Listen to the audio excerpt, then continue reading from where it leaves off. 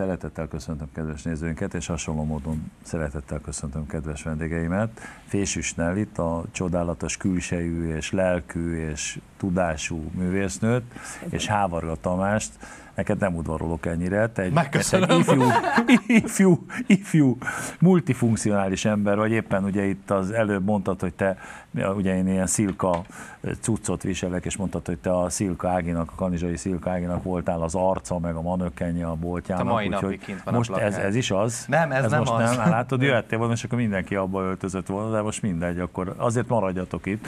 Egy ö, bemutató kapcsán magyar szerző, ugye Posgai Zsolt, aki hát egyébként rendez is a Zsolt, úgyhogy én megmondom őszintén, hogy kicsit csodálkoztam azon, az a cím, hogy Razzia a darabnak, de én szerintem csináljuk úgy dramaturgiailag, hogy a Nelly elmondja, hogy szerintem miről szól, utána te elmondod, hogy szerinted miről szól, és aztán kezdünk el ebben majd kutatgatni, hogy hogy, hogy, hogy, hogy került ez hozzád rendezésileg. Hát ez egy éjszaka, egy éjszakáról szól, egy nyomozásról, megölnek egy, hát most mondhatnám Ember. szépen, de stricit megölnek, és Igen. van tíz gyanúsított, tíz nő, bármelyiknek indítéka és oka lehet arra, hogy megölje. Vannak köztük prostituáltak, de vannak köztük értelmiségiek, van köztük egy, egy rendőrfőnök feleség. Az áldozatnak elég széles ismeretségi köre volt akkor, hogyha ennyit gyanúsíthatunk azzal, hogy így megölte, van, ugye? Így van. Igen. És hát a végére kiderül, hogy ki volt a gyilkos. Na és te kit játszol ebben a darabban? Magam vagyok a rendőrfőnök felesége. Tehát téged is Nem vagyok összehoztak prostituált. A, téged, is, téged, is, téged is össze... Na azért nem tudtam pontosan, hogy kit játszol, mert nézd ide, itt ki, ki nyomtattuk ezt a dolgot, és nem sikerült a nyomtatás. De ott úgyis csak a nevem lett Tamás, volna a ott. Tamás se tudta elolvasni, a Tamás Csak, se a, tudta csak a, sze, a elolvasni. szerepnevem lett volna ott, és abban nem, abból nem derül ki, hogy én ki vagyok. Ebben igazad van. Ebben teljesen igazad van. Tamás, neked ez a darab, ez micsoda? Nekem ez egy adott szituáció, egy adott helyzet az életből. Én azt gondolom, hogy teljesen mindegy, hogy a Zsolt ezt hova írta, mikor írta. Én azt gondolom, hogy ez ma 2018. november 6-án ugyanúgy lehet egy éjszaka, egy kihallgatás. Az, hogy ez a tíz nő bekerül egy terembe, ahol ők gyanúsítva vannak valamivel, előbb-utóbb kiderül, hogy mindenkinek köze volt ahhoz a stricihez, akit a Nelly említett, az, az egy, az egy nagyon érdekes és fantasztikus írásra val, hogy össze tudja hozni. Tehát azért nem annyira egyszerűen van ez kimondva, hogy ő is ismerte, ő is ismerte, hanem azért itt szépen kibuknak a, a szálak, hogy ő honnét ismerhette, hiszen van egy szociológus, ő honnét, honnét ismeri a matek tanár, honnét ismeri mondjuk a prostituált, a büfésnő. Tehát csomó karakter van, akinek valahogy kötődni kell ehhez az emberhez.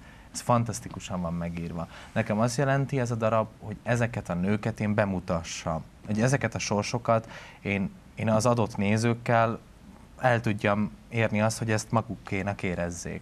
Egy képzett színész vagy, ugye? Nagyon fiatal vagy. Nem, Nem tudom, képzett, elárulhatjuk van a... egy papírom róla, hogy Igen, színész igen, vagyok. igen, na de nem egy színész képződmény, hanem egy képzett színész, tehát van papírod Van, róla, igen. és nagyon fiatal vagy, de nem tudom, hogy azon a határon mozgunk, hogy még elárulhatjuk, vagy már elárulhatjuk a korodat, ugye? 23 éves. 23 éves. És tényleg igaz ez, hogy hamarosan 24 lesz? November 14.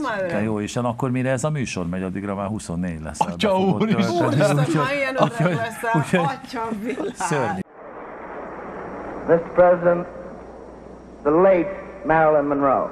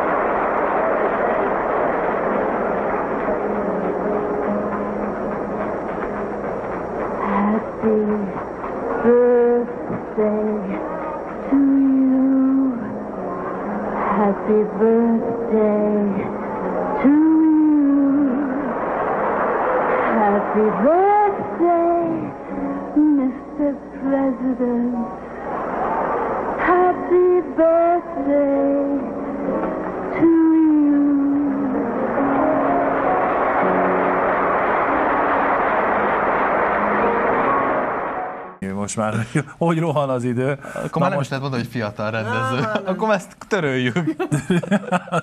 Na most eh, én eh, azt gondoltam, hogy egy ilyen eh, pályakezdési helyzetben az ember minél nagyobb darabokat, tehát nem tudom, a Lír királyt szeretné, vagy a Vihart, vagy a, nem tudom, bármi olyat, ami tuti siker, vagy, vagy akkor legyen a komédiákból olyan, ami világsikerű komédia, de te kiválasztottad a Posgai Zsoltnak, egy magyar szerzőnek a Razzia című darabját. Na most ugye itt egyáltalán, hogy hogy került a Zsolt darabja a kezedbe, az is már egy számomra érdekes információ lenne, és hogy aztán ezzel te, eh, hát ha nem haragszol, elárulom, hogy házaltál tulajdonképpen, hogy ezt te meg akarod csinálni. Szóval miért lett olyan fontos neked? Tehát, hogy hogyan és miért lett fontos? Én körülbelül 9 évesen láttam ezt az előadást Győrbe. És nem emlékeztem magára a darabra, arra emlékeztem, hogy bezártak minket a börtönbe. És ez olyan élmény volt nekem gyerek feje, hogy tudtam, hogy ezzel majd valamikor kezdenem kell valamit. Most nyilván eljátszani még azt az egy szerepet, a Rodolfo szerepét még egy 20 évig nem fogom. Úgyhogy inkább gyorsan megrendeztem, hogy előbb legyen hozzá közöm. Egyébként ténylegesen házaltam vele. Ez úgy nézett ki, hogy Posgai Zsoltot megkerestem, elmondtam neki, hogy itt vagyok, szeretném megcsinálni ezt az előadást, és akkor Zsolt mondta, á, á, á, de hát most te mit csinálsz? És akkor mondtam meg, hogy én most jelenleg a Csongor és Tündét rendeztem meg amire várlak nagy szeretettel. És akkor az előadás után odajött Ki hozzám. volt Csongor és ki volt Tünde a darabban? Putnoki László játsza a Csongort, Nagy Nati játsza Tündét, és Egyed Brigitta Mirigy szerepét. Ez azért fontos, mert nekem Egyed Brigi egy, egy fantasztikus Johnny Joker lap, amit, amit mindig jó berakni egy Na előadásba. most a Csongor és a Tünde is játszik most ebben a darabban, ugye? Igen. Tehát a Csongor Igen. játsza a felügyelőt, ugye? A Igen. Tünde meg az egyik gyanúsított hölgyet. Így van, így van. És a Zsolt eljött megnézni azt az előadásomat, és utána mondta, hogy aki akkor még 22 éves voltam, hogy aki 22 évesen úgy megcsinál egy csongor és tündét, hogy az, az abszolút a helyén van, Mm. az nem kérdés, hogy, hogy kezdhet valamit az ő darabjával. És igen, ahogy említetted, a Zsolt is rendez, és pontosan ezért esett nagyon jól, hogy nem azt mondta nekem, hogy legyek mellette rendezőasszisztens, vagy Elvállaltad volna egyébként? Rendezőasszisztens. A Zsolt mellett áll. Uh-huh. Van olyan színház, ahol, ahova egyébként lehetőségem lett volna menni, nem is olyan rég, hogy legyek ott rendezőasszisztens, azt nem vállaltam el. Uh-huh. De a Zsolt mellett elvállaltam volna. Ez azt jelenti, hogy a Zsolt a zseninek tart, most már csak az a kérdés, hogy a Nelly mit fog így face-to-face mondani. Mindent bele.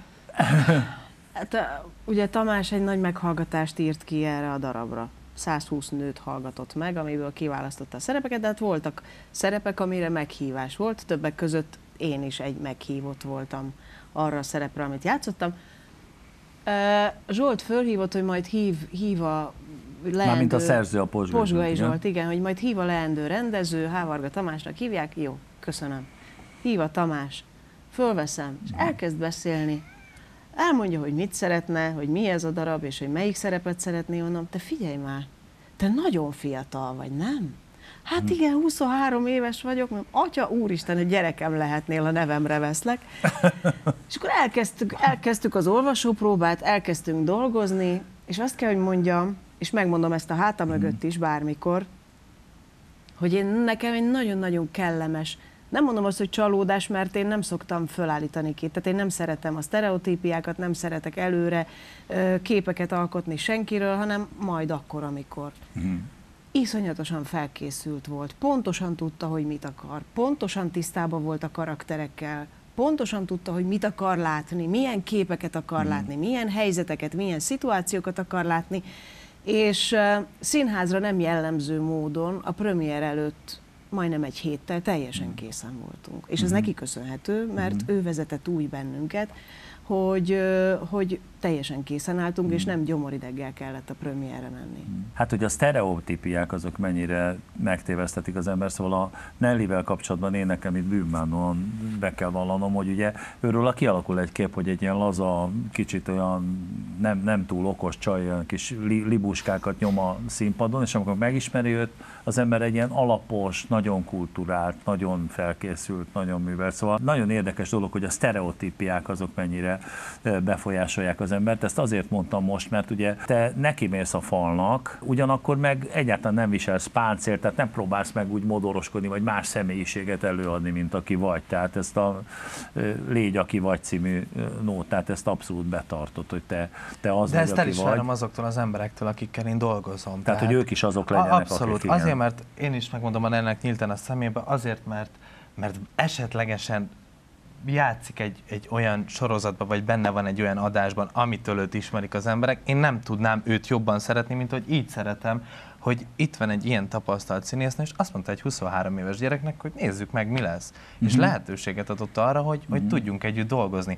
Tehát, hogy én nem az alapján ítélek embereket, hogy most ki hol van, vagy ki mit csinál, mm-hmm. hanem hogy milyen, milyen itt belül, hogy van-e szíve neki, tud-e gondolkozni. Figyel, tehát az, hogy csapatjáték legyen nekem, az elengedhetetlen. Nem hiába van az, hogy a, a legnagyobb régi nagy színészek minden interjúban elmondták, hogy, hogy ez csapatjáték, mindenkinek tudni kell a helyét, hogy ki hol van.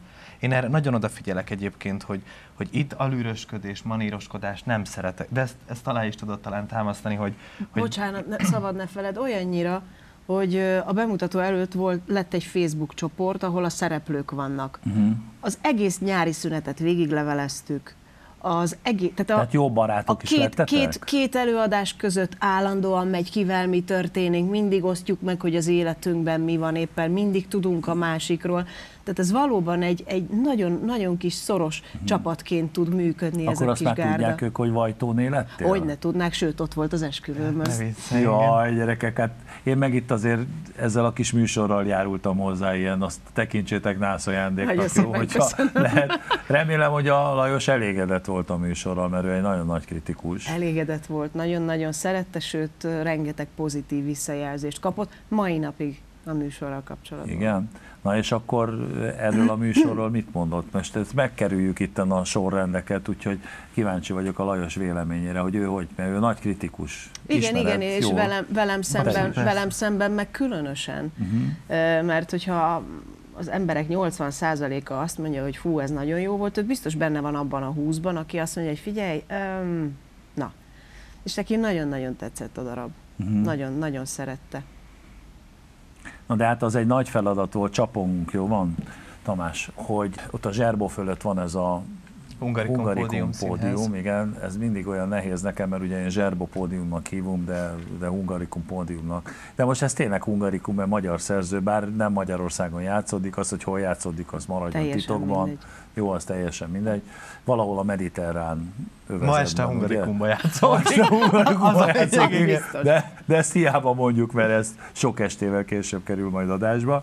No, szóval, hogy ez a bizonyos Hungarikum színpad, ez egy elég érdekes dolog, mert így egy viszonylag nagy terem, de hát egy ilyen zsákterem, tehát e, azt hiszem, hogy nem elég széles a színpad, én már láttam ott egy-két előadást, és e, hát e, ezt, hogy ilyet még nem láttam, hogy 11-en vannak egyszerre a színpadon, szóval ezt azért úgy elég nehéz volt elképzelnem. Hiába elég mélysége az elég nagy a színpadnak azért, ahhoz képest amilyen a szélessége, hogy az se jó. Az se. 11 nem? embernek még a mélysége is És sem akkor, mi, elég akkor nagy. hogy, hogy egyáltalán mi van egy ilyen zsúfoltságban, mint a villamos, úgy Nem. néz ki csúcsorgalomban? A Nelly, ahogy, ahogy mondta, hogy, hogy, hogy felkészültem, mentem, ez ennek tudható egyébként a legjobban be, hogy, Mhm. hogy nagyon lekorlátolt a hely, hogy miket lehet, hova lehet rakni embereket.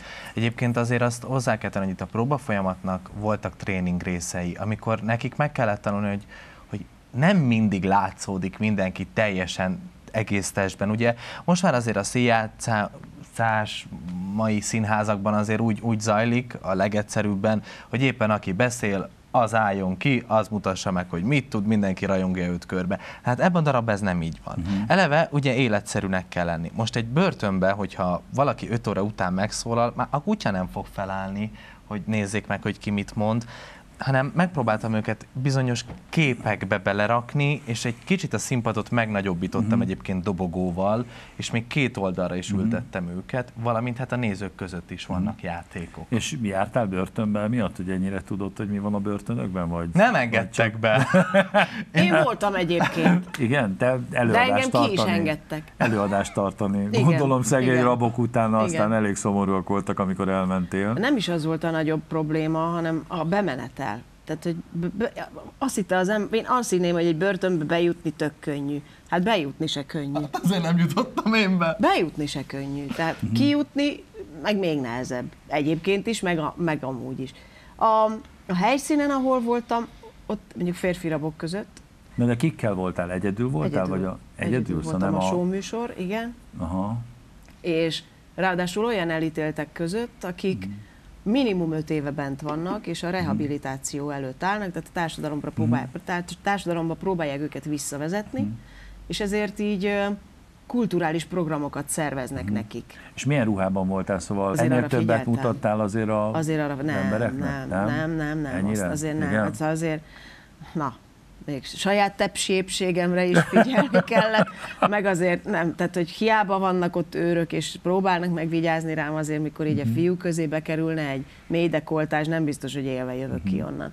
Mint ahogy mikor átvezettek a, három börtönben is voltam egyébként, majd mesélek, ahogy átvezettek az udvaron, kint lógtak a rácsokon Mhm. az elítéltek, és kiabáltak, és hát hadd ne mondjam, hogy miket mondtak. Uh-huh. De nagyon érdekes volt, nagyon sok sorsot hallgattam ott végig, mert hogy hiába én voltam a showműsor, borzasztóan érdekeltek azok az emberek, akik bent vannak. És beszélgettél velük? és beszélgettem velük, és ott volt többek között az a fiú, aki, akit a, akinek a barátnőjét az apja ö, folyamatosan molesztálta, és az anyját is folyamatosan molesztálta a férfi. És, és a fiú ezt nem bírta tovább, És megöltem. és megölte Igen. ezt a pasit. Én is hallottam. És utána őt, őt ő, ültették le. Meg ott volt Mhm. egy férfi, aki a, nagy, aki a, hug, a kislány, nem, az unokáját próbálta meg megmenteni, mert hogy ugye Mhm. erőszakoskodott vele valaki. 25 évre ítélték A el a nagypapát? nagypapát, igen, aki megölte azt, aki erőszakoskodott az unokájával. Zsolt az ezt a darabot mikor írta? Te, te 9 éves voltál, akkor már legalább 14 Szerintem éve. 2003-ban. Nem, 2003-ban? még hamarabb, mert előtte Szerintem 2003-ban volt ennek a bemutatója Békés Csabán. ez egy kvázi kihallgatás, és egy Mhm. még csak nem is előzetes letartóztatás, hanem egy, csak egy kihallgatás. Tehát itt egy valaki marad majd, ha marad, a többiek szabadon távozhatnak. Győrben ezt te hányszor láttad? Hát olyan sokszor egyébként nem. Mert ugye a nagymamád, ugye? Nagymamám ott volt jegyzető Színházi 16 ember és jegyzető. Ez nagyon tetszik nekem, amilyen büszkén vállal össze. Hát hogy a francban volt. Az egyébként nagyon-nagyon szeretett szakmai jegyzetőség, mert csupa ilyen művel, decens, úri, nyájas úri hölgyek általában Hát ő minden nap ment fodrászhoz, készült rá, hogy ő ma este jegyzető lesz. Én nagyon-nagyon szerettem, hogy ő ott dolgozott. De És És egyébként akkor- nagyon jó szemük van a jegyszedőknek. Igen? Tehát ők nagyon jól látják a színházat Mhm. általában. és velük mindig jóba kell lenni. Így is van. Ez fontos. Na Igen. de Tamás, az, hogy a nagymama jegyszedő, Igen. az, az neked egy jelentős színházi befolyást jelentett. Hát olyan hogyne, értelemben, hát hogy rengeteg magával. darabot láttál. Hát vitt magával Körülbelül hány folyamatosan. ilyen darabot láttál? Mert Hát mi- minden évben volt mondjuk 12 új bemutató. Szerintem Győrbe 15 éves koromig olyan 600 előadást. uh-huh. Ténylegesen, tehát a balett, Hát opera. az már önmagában elég ahhoz, hogy valaki Fesztiválok folyamatosan. váljon, nem? Tehát, hogy Hát aztán később én stúdiós késztetés. lettem a színházban, Mhm. tehát hogy én ott Szell Attilánál nagyon sokat tanultam, nyolc éven keresztül. akkor még a korcsmáros volt Igen. egyébként? Akkor még a korcsmáros volt? Igen.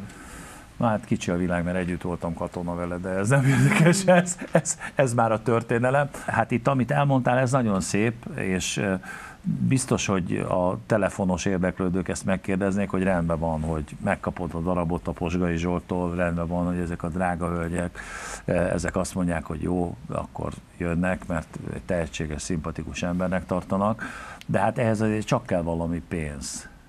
Hát azért ez Ugye a, az money, előadás, a money az honnan van? hát ez a Hungari Kompódium Színház előadása. Ja, értem. Tehát Hát ezt akkor... ők, ők voltak, akik, én úgy kerültem oda, hogy a Csongor és Tünde előadást ők megvették. Aha. És azt nagyon szerették azt az előadásomat. Kérdezték, hogy lenne egy olyan, amit szívesen színpadra állítanék. Akkor jöttem ezzel a brazil ötlettel, hogy én ezt megcsinálnám. Uh-huh. És a színház, mivel ugye hungarikum pódium, tehát azért a magyar szerzők prioritást élveznek, ezért azt mondták, hogy beállnak a darab mögé. Na most itt csupa ismert, nagyszerű, csinos, szép, okos, tehetséges színésznő van, viszont hát sokan vannak, szóval ugye akkor, hogyha egy vagy két ilyen nő szerepel, tehát nekem a Nelly pontosan elég lenne egy estére egy darabban, tehát, de, de amikor tizen szerepelnek, akkor, akkor hát azért felvetődik, legalábbis bennem felvetődne, hogy nem vagyunk-e sokan. Tehát, hogy én mennyire tudok jelen lenni, hogyha még tizen ugyanúgy jelen vannak, vagy ha még kilencen ugyanúgy jelen vannak. Erre ugyanazt tudom mondani, hogy tényleg ezek a lányok figyelnek egymásra. Ezek tényleg csapatba tudnak játszani. Egyik se játsza le a másikat, egyik se vág másik szavába, nincsen félrekönyöklés. Egyik sem azért van ott, mert az anyukája Kossuth Díjas művésznő, és benyomták őt ebbe a darabba. Szóval csupa értékes színész van ebbe a darabba. A próba folyamat alatt egy darab hangos szó nem volt tíz Mhm. nőtől. Na most Tamás, a te életedben azért hát ez egy, egy borzasztóan ritka dolog, mert én nem tudom, a Valló Péter volt az, aki így 23 éves korában tényleg színházban rendezett, mert ő volt az, akit emlékszem, hogy ilyen nagy szenzáció volt, hogy rögtön az érettség után, mert általában a színművészetére rendező szakra egy másik diplomával vették fel az embereket. Tehát ez egy egészen kivételes dolog, hogy valaki 23 éves korában így ö, ilyen csapattal rendezzen, hogy, hogy neked a környezeted, vagy a, vagy a régi iskolatársaid, azok mit, mit szólnak ez, mennyire tudják, hogy te most tulajdonképpen egy sztár csapattal dolgozó rendező vagy, amiből az következhet, hogy te egy sztárrendezőnek tartod magad. Nem. Én, én azok az emberek, akik, akik Győrben velem vannak, vagy, vagy a régi barátok, ők nyilván büszkék rám. Én viszont azt gondolom, hogy én nem semmiféle, még ő rájuk is azt mondom, hogy nem sztárcsapat, hanem ők emberek, és én sem sztárrendező, hanem egy, egy ember, aki a színházat szereti, és Mhm. akinek a színháza fontos.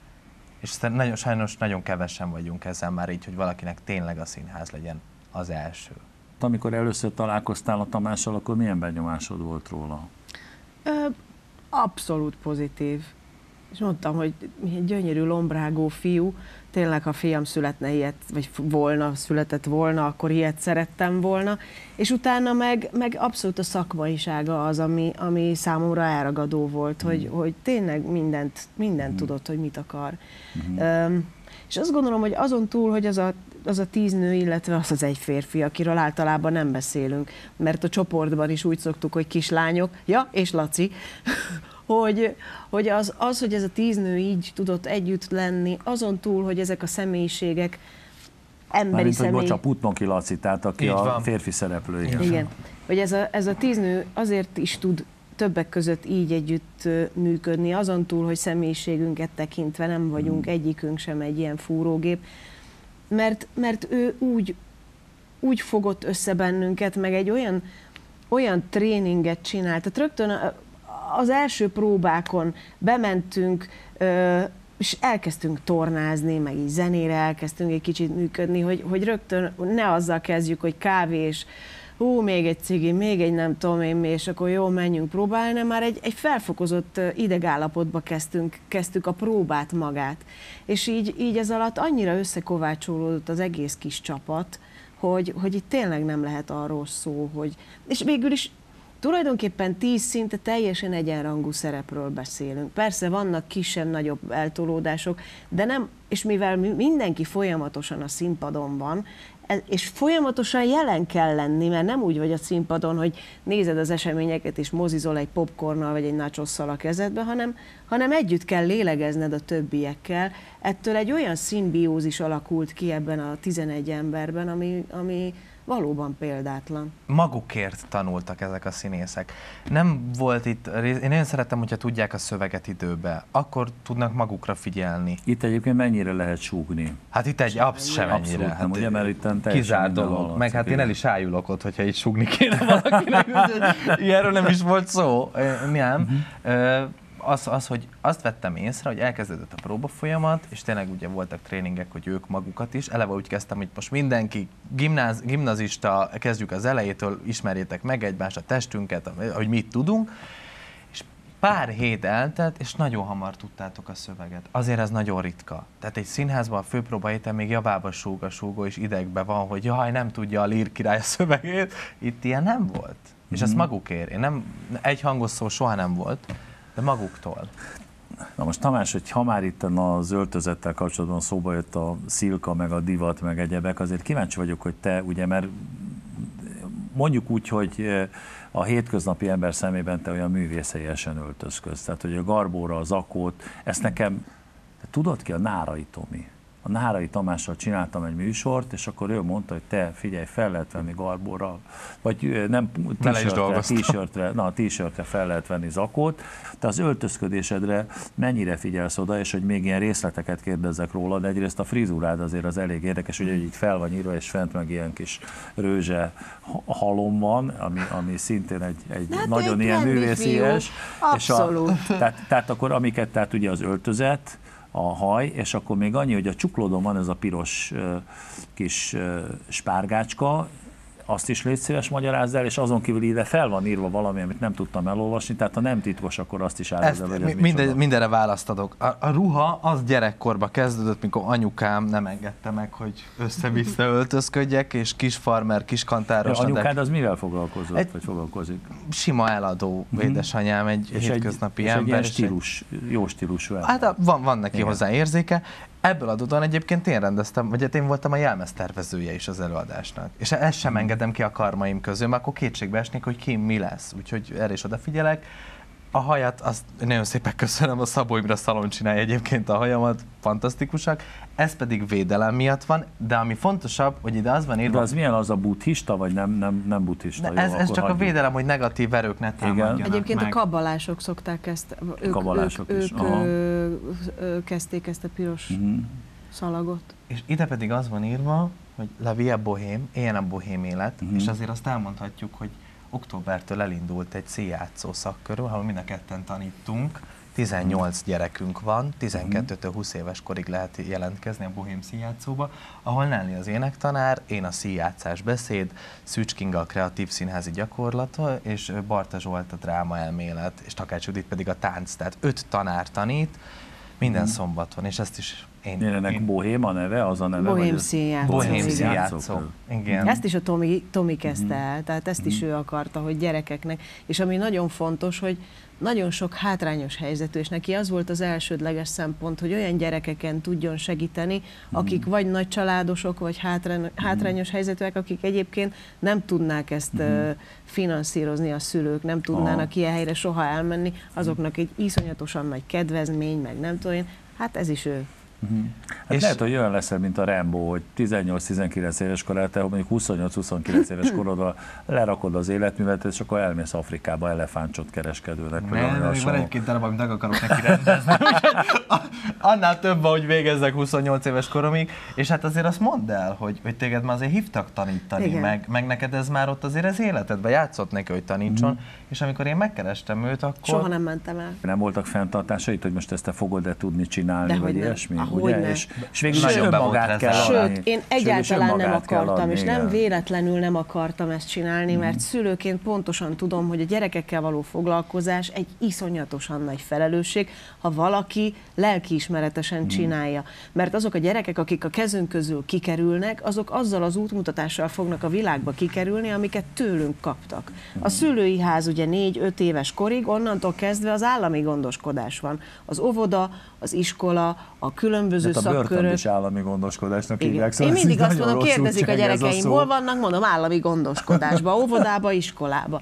Tehát, hogy, hogy, hogy azok a tanárok, akik azért, a megélhetési pedagógusok, akik azért tanítanak, mert sehova nem vették föl őket csak a tanítóképzőbe, és nincs más opció, csak az, hogy tanító legyen, és elcseszi az én gyerekem 7-től 10 éves korát, mert, mert nem, nem szeret a gyerek tanulni, nem azért nem szeret a gyerek Mhm. tanulni, mert, mert hülye, azért nem szeret tanulni, mert nem tanították meg tanulni, Aha, vagy igen. nem szerettették meg vele a tárgyat, vagy nem, nem adtak olyan, olyan instrukciókat, olyan útmutatásokat a gyereknek. Minden gyerek egy más személyiség. Nem lehet, a gyerekekre sem lehet a sztereotípiákat ráhúzni. Nem lehet Pistike pont ugyanolyan, mint Jancsika. Két teljesen külön karakter, külön életből, külön szülőkből, külön háttérrel jönnek, mindegyikkel másként kell bánni.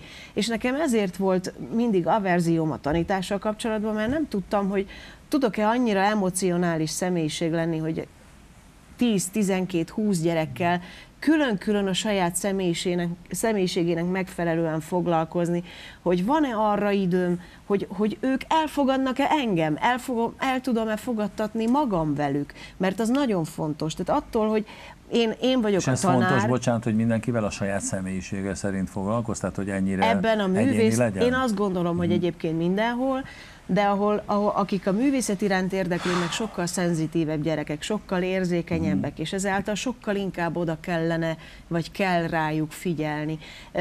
Ebben a csoportban is van egy kisfiú, aki elmondta, mondjuk most két fiúval példálózom, két véglet. Az Ez hány éves ez a kisfiú? Mert- az egyik 12, Mhm. a másik 15. Az egyik fiú az teljes gátlástalanság, mindenbe beleszól, minden mond, igen, mindent csinál, őt semmi nem érdekli, az beszélő, akkor is beleszól, ha az szól, őt semmi nem érdekli. A másik fiú az egy iszonyatosan zárkózott személyiség, aki, akit csúfoltak az iskolában, mert ő nem mer felelni, ő nem mer hangosan beszélni, ő nem mer a többiek előtt mm, semmit mondani, mert azonnal legörcsöl, ízad a tenyere, remeg a keze, ízad az egész teste, és rosszul van. És ezzel a két fiúval nem lehet ugyanúgy bánni.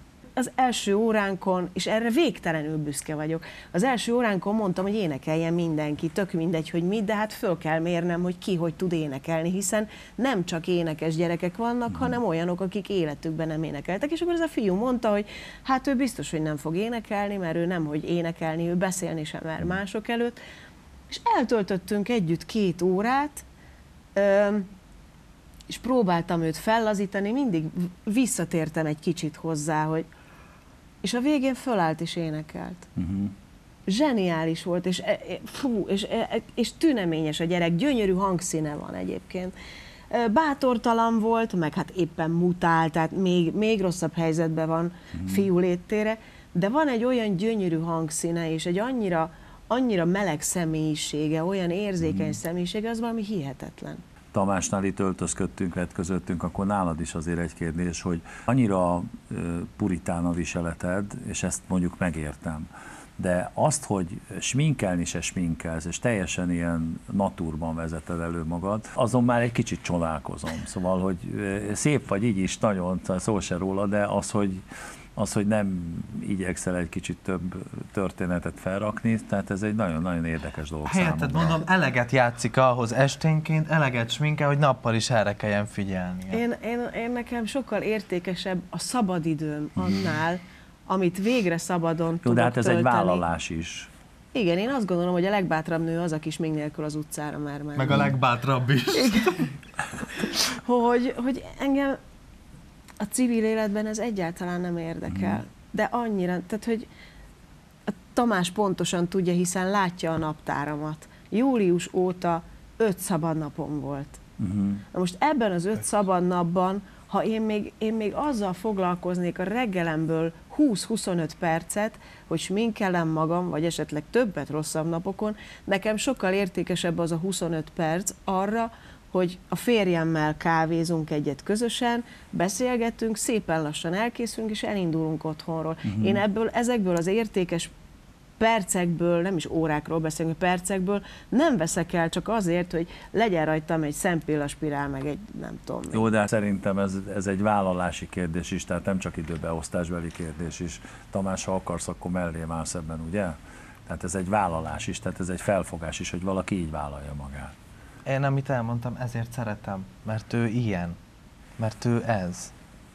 Mindennek tudja a helyét, én azt hiszem. Vannak olyan pillanatok, amikor belenézek a tükörbe, és azt mondom, hogy hát azért most mondjuk nem ártana, és akkor így elhesegetem a gondolatot. Én valamelyik, volt egy riport velem, pont a Garami Gábor csinálta, a Potyautas című műsort, és aláírták, hogy ez a nő tök jól nézett ki addig, amíg nem kezdte el botoxoltatni magát, és nem esett át annyi szépészeti beavatkozáson. Hát jelentem, soha életemben nem botoxoltam, szikével az arcomhoz egyetlen plastikai sebész nem ért hozzá, nem fecskendeztek be hialuronsavat az arcomba, semmilyen jellegű mm, mm, plastikai beavatkozás az arcomon nem történt, én ilyen vagyok, köszönhető a genetikának, minden ráncomért megdolgoztam, ami tény, hogy nem iszom alkoholt soha életemben, nem dohányzom, próbálok időben lefeküdni, és ha valamire nagyon odafigyelek, akkor az arckrémre. Egyébként meg ennyi.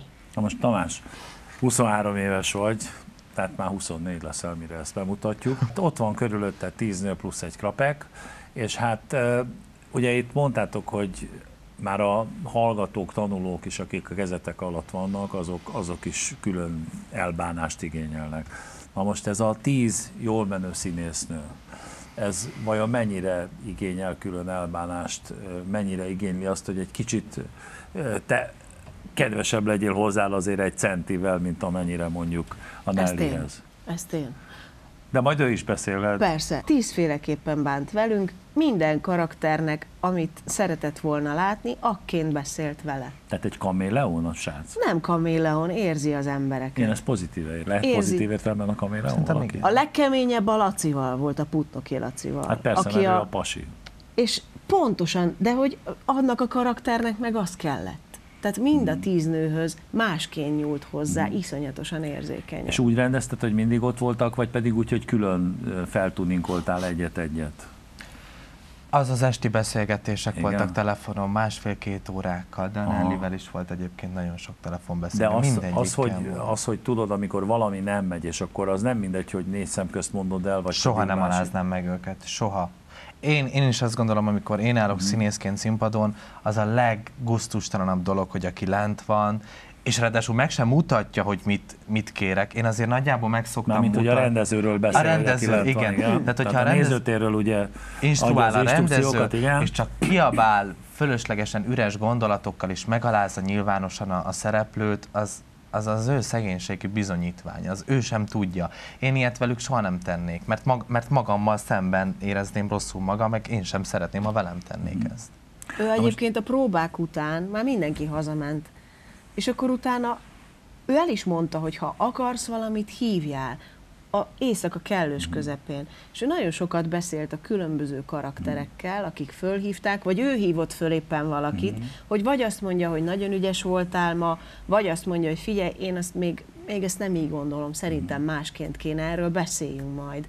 E, És ő, ő nem, nem tette le a munkát 10-kor, 11-kor, fél 12-kor, hanem, hanem, hanem tovább. Tehát ő, ő addig dolgozott, amíg el nem aludt. Volt, egy van érdek- egy, igen. bocsánat, csak van egy ilyen, hogy ez kialakult egy bónuszhívás. Mindig az adott napon, aki a legjobban próbált, azt mindig felhívtam.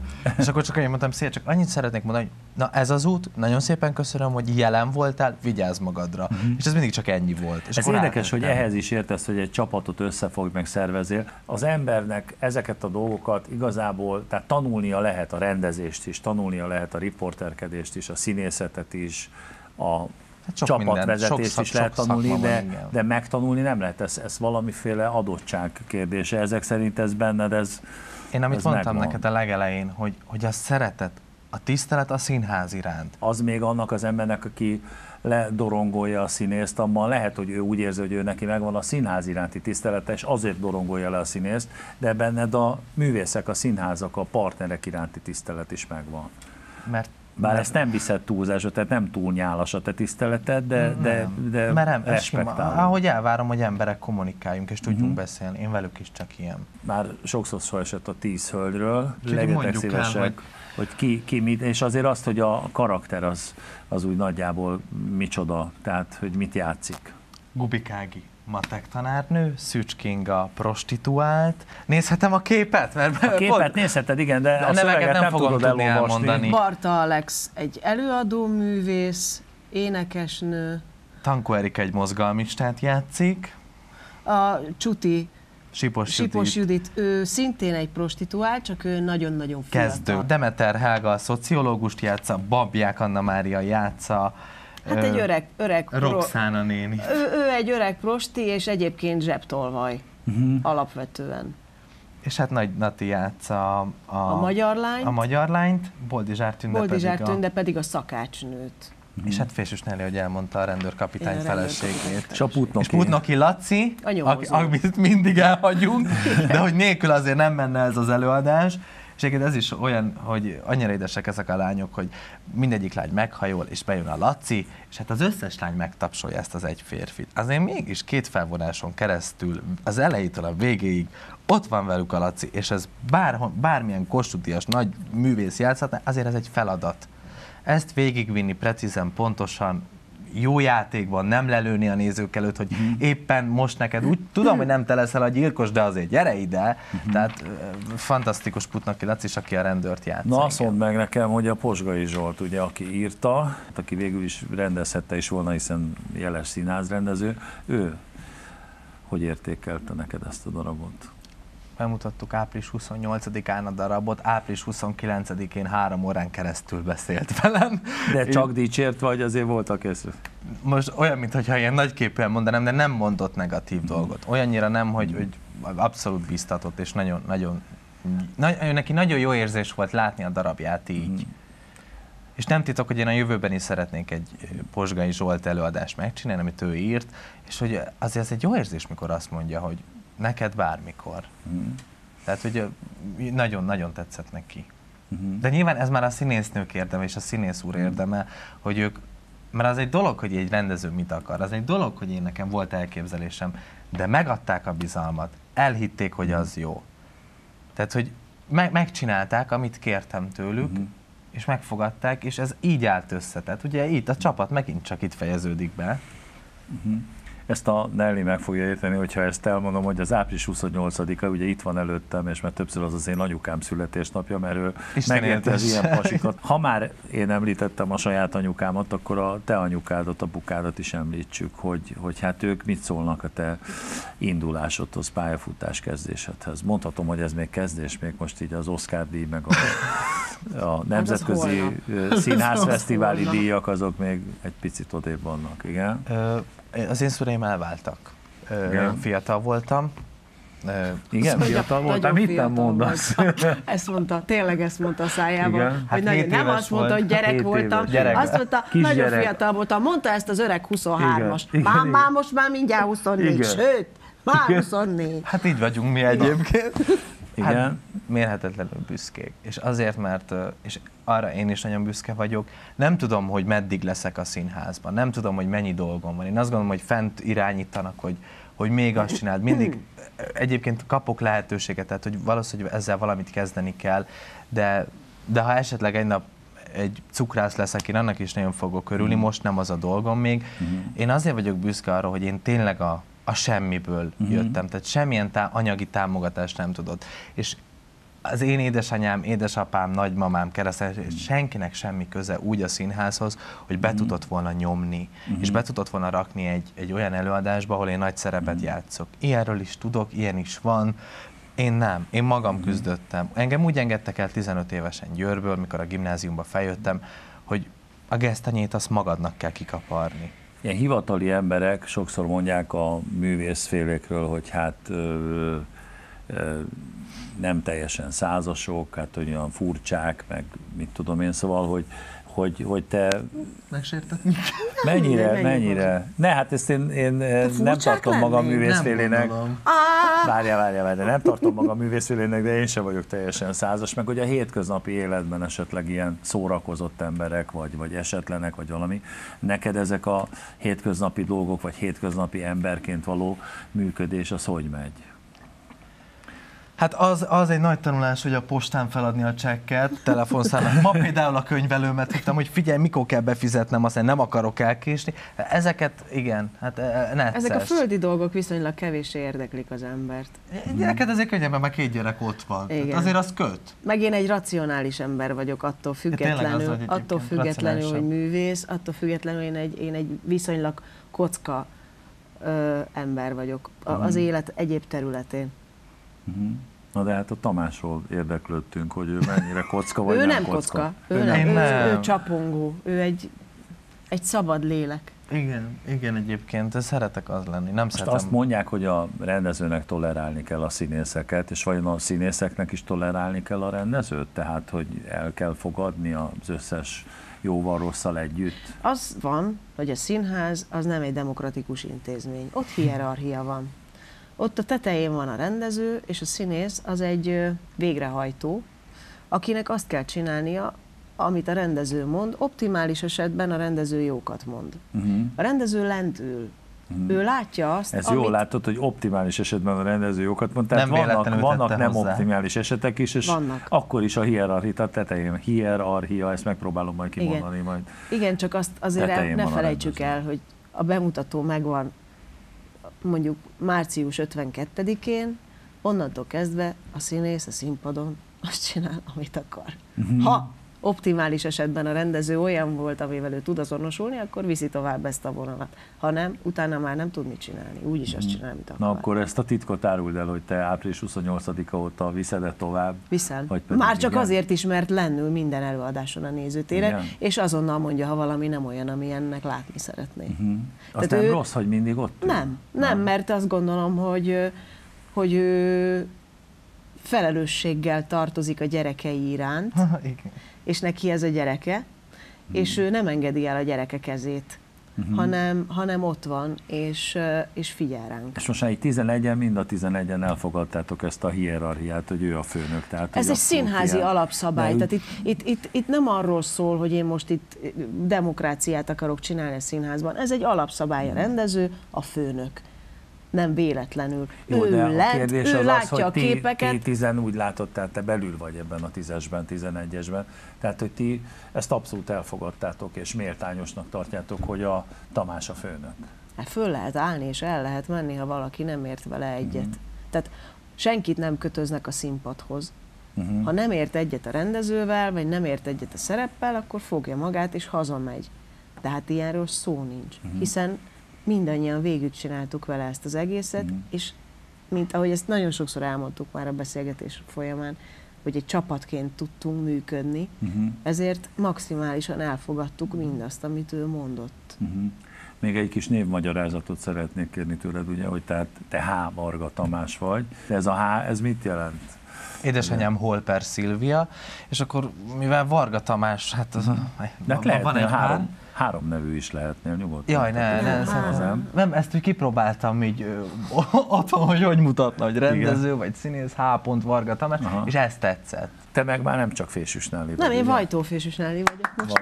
Vajtó. De mi, gratulálunk, de mi nem Vajtóné, az úgy... Nem, vagy azért Hát a- nem. Azért Igen. nem, mert eleve ugye az én férjem azt hitte, hogy nem is fogom fölvenni a nevét, mert hogy az én Igen. nevem az már egy védjegy, ahol mindenki így ismer.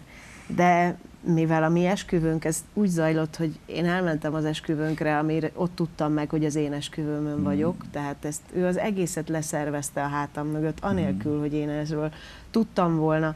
A, az, tulajdonképpen az én barátaim, az Mhm. én, én közeli ismerőseim voltak ott az esküvőn, Mhm. akkor az a legkevesebb, hogy én az ő nevét fölveszem. Hát figyelj, a Dériné, ő is az férje nevén Meg ez a né, ez már Működött, annyira és elég szerintem nem, nem trendi egyáltalán. már mi nem trendi? Hát ez, hogy né, Az nem. kötőjelesen a hivatalos okiratokon. Kötőjelesen. Vajtó Fésűs Isten. Nelly De miért kell kötőjelesen? Na mindegy, ebben nem szólok. Ebben se szólok bele. Ne, ne, de nem fésűs vajtó, hanem vajtó fésűs. Értem, És így, értem. hát ez hivatalosan kötőjellel kell. Jó, hát akkor most mind a kettőtök névmagyarázata megvolt. V-fésűs. Azt mondta, hogy nem akarod, hogy V-fésűs. Mondom, ötödik fésűs Nelly, hát mi? Egy Isten őriz! A következő tervek a darabbal kapcsolatban hol és meddig láthatjuk? Ez Most ezt a bízunk- mai előadást már nem mond, mert Ezt ez már nem mondom, mert úgyis ez igen. később lesz. Hát bízunk benne, nyomon kell követni, a Razziának is van hivatalos Facebook oldala, valamint a Hungarikon Pódium Színház oldalán is lehet nyomon követni, hogy mikor lesznek előadások. Mivel többször te is elmondod, hogy azért tíz nagyon sikeres színésznő és egy férfi, nagyon nehéz őket Ő leegyeztetni. is sikeres, azért azt tett hozzá, hogy hát a csongor Mindenki. szerepében is Mondom, már, 11 igen. sikeres embert egy Tudnak, napra igen. egyeztetni nagyon nehéz, úgyhogy ez, ez mindig képlékeny, hogy, hogy éppen melyik hónapban hova tudjuk rakni. Uh-huh. De amelyik nézőt, akit érdekel, az nyomon tudja követni. Csinálod ezt a darabot, tehát itt ez műsoron van, és már készíted elő a következőket, tehát itt hamarosan hallunk rólad megint. December 22-ével December. mutatok be egy Szent Iván álmot. Egy Szent Iváni jelenet, te jó Isten, és azt milyen gárdával csinálod meg? Mert ez még felmerült ezzel a darabbal kapcsolatban egyébként, hogy sokszor láttam mostanában már olyat, hogy mit tudom én, a 25 szereplő helyett csak négy van, tehát ez neked most ebben eszedbe se jutott, mert ez eredetileg is 11 szereplő. A Szent Iváni álomnál ott is megvan a teljes szereposztás? 15 szereplő van, Uh-huh. tehát én teljesen nem normális vagyok, hogy még ezután is emeltem. Itt amúgy kivitelezhetetlen lenne az, hogy Mhm. uh húzzunk, de azért Shakespeare azokat úgy írta meg a Szent Iváni álmot, pont azért, hogy költséghatékony legyen, hogy minél kevesebb színész legyen, és mindenki több szerepet játszik. Téged, mikor, hol, hogyan, illetve hát kedves Vajtó, kötőjelfésűs Nelly asszony. Ez a kötőjel, ez nem tudom, de mindegy, jó. Hát De ezt az- nem kell kimondani, azt csak írásban van írá- ott. írásba Tehát tetszik nekem, Nelly. De írásba se tetszik De nekem. hát ez így van, hivatalos. Most már mindegy, a te bocsánatot kérek. A Lajosnak biztos tetszik, úgyhogy Persze, az a lényeg, mert ő a férjed. Így van. Na, akkor téged hol és mikor? Elnézést kérek, hogy itt ezt a kötőjelet, kötőjelet megkérdőjeleztem, bocsánat. Mivel per pillanat 11 előadás az, amiben játszom, nehéz lenne felsorolni. De hát ö, Veresegy, Veresegy színházban, Veresegyházán, a Ram Hát egy Kolosseumban. nagyon jó kis színház lett egyébként. Igen, a Ram Kolosseumban játszom két darabban, a Cinderellába és a Gyöngyhajú lányba. Most fogok, Vidámon. a Vidám színpadon négy darabba vagyok. A, a család ellen nincs orvosság, dől alé, fel is út, le is út, forró hétvége, át természetesen a razzia.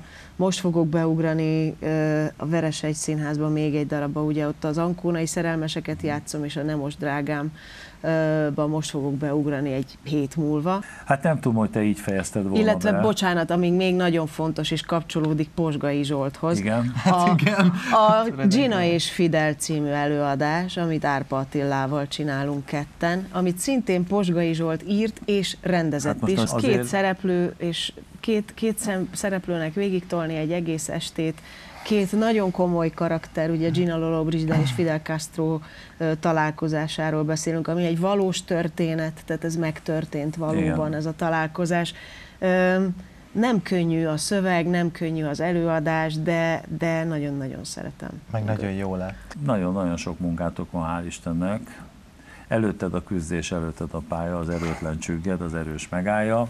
Úgyhogy, de nem arra szól, hogy ezt mondom, hogy előtted a küzdés, előtted a pálya, mert hát azért, bár most már elég Most szépen már öreg, mert már csak most már egy csomó 24 darabot éves, de rendezett, hát- meg rendez. Teljesen ismeretlen emberekhez oda mernél menni azzal, hogy te szeretnél. Tehát, hogyha lenne egy ügyet, hogy egy darabot szeretnél, akkor úgy, hogy se nem ismered, nem tudja, hogy ki vagy, bekopogtatnál hozzá? Hát természetesen. Ez hát ha egy- tudom, hogy ő segíteni tud abban, hogy én azt bemutassam, akkor igen. Mhm. Bár szeretek független lenni, e tekintetben is. Hát sok sikert kívánok Köszönjük. neked, és köszönöm szépen, hogy itt voltatok. Köszönjük, Köszönjük. szépen. És hát a Nelly továbbra is egy csoda, Ez úgyhogy van, zárjuk, zárjuk ezzel a műsort, és köszönöm szépen a kedves nézők figyelmét is. Remélem, hogy szívesen tartottak ma velünk. Viszontlátásra! Thank you.